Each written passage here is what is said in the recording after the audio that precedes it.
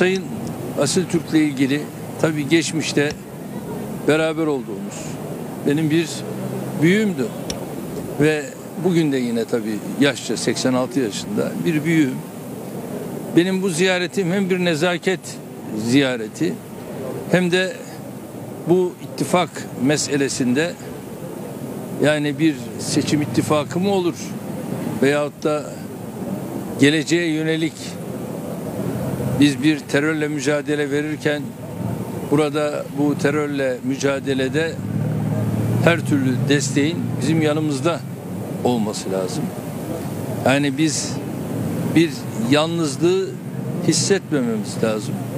Bunun için de şu anda buna benzer görüşmeleri bundan sonra da yapmayı planlıyorum. Yapacağım. Nitekim geçenlerde biliyorsunuz yine Demokratik Sol Parti'nin genel başkanıyla da külliyede bir görüşmemiz oldu.